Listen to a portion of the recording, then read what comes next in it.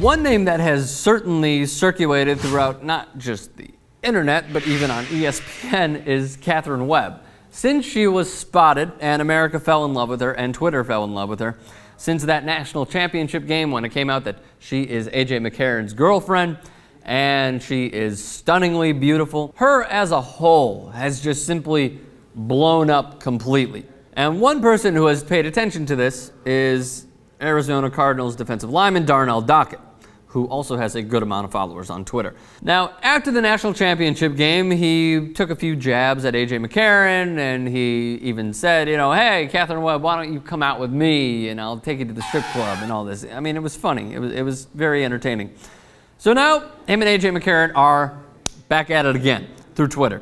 Here's what they said, courtesy of thebiglead.com. Darnell Dockett tweets at Katherine Webb, hey, at Katherine Webb, we still on for lunch? I'm suggestion a spot in Calliope, whatever the fuck that is, projects bring Lil AJ too. My boys will keep him company. As in, hey, they'll take him to the side while we go and do stuff. And I put my arm around you.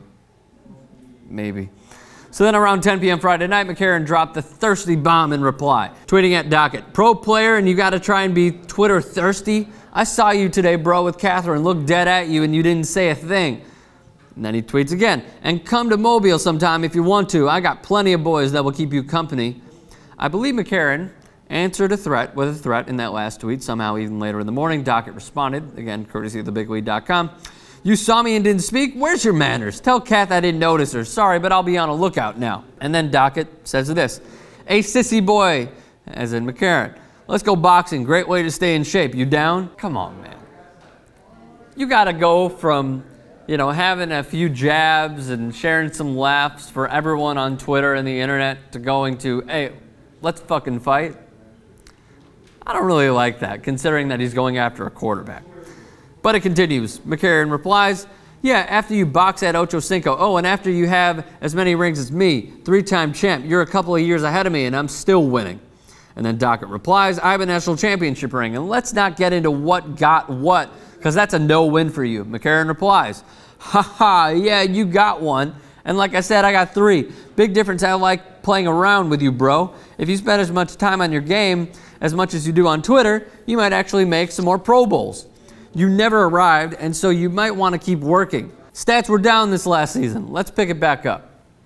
This is fucking awesome.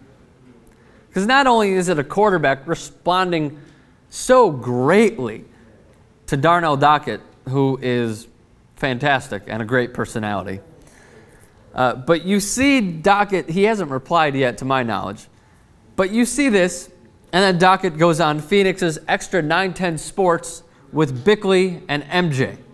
And he says this If I really wanted to get his girl, as in Katherine Webb, there's a bunch of different ways I'd have went about it. I would have got her if I really just wanted her. I don't think she's my type. I'm not into the thinner girls and the modeling thing like that. I like hood chicks. I like girls with a couple stab wounds, bullet holes who have been locked up a few times. That's Darnell Dockett saying how he could get AJ McCarron's girlfriend but doesn't want to because she doesn't have bullet holes and stab wounds. Darnell Dockett is fucking awesome. And this is mainly the reason. Because he simply doesn't care. He has that DGF mentality, you know, don't give a fuck, about how this is so fantastic. And the, and the hosts, by the way, I'll, I'll throw the link in the description below. The hosts were cracking up throughout this entire thing. So overall, who do you guys think won this Twitter exchange? I would say AJ McCarron on the surface. We wait for Darnell Dockett's reply. Uh, both of them a great follow, clearly. And if you have not seen this uh, in-depth, full-length Twitter beef, we'll throw a link in the description as well.